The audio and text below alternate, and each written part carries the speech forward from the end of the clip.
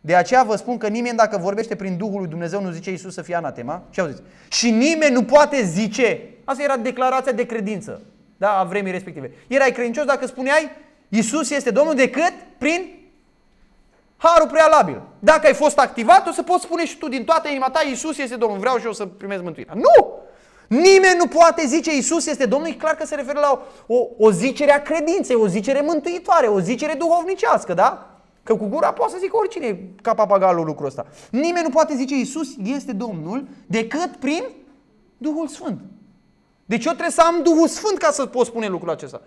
Eu nu trebuie să fiu pus într-o stare neutră undeva pe Sinai, alege astăzi cui vrei să slujești. Uite blestemul, uite binecuvântare, alege astăzi cui vrei să slujești.